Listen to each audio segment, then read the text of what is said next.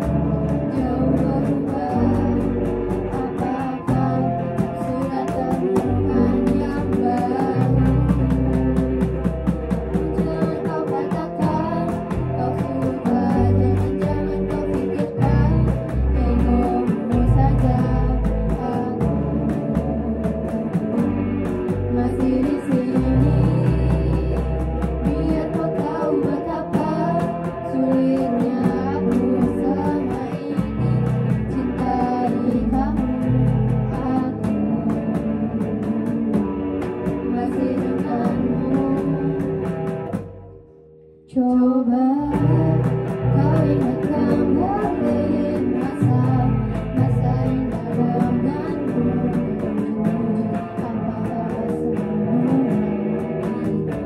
sudah terlambat ataukah kau sudah terlambat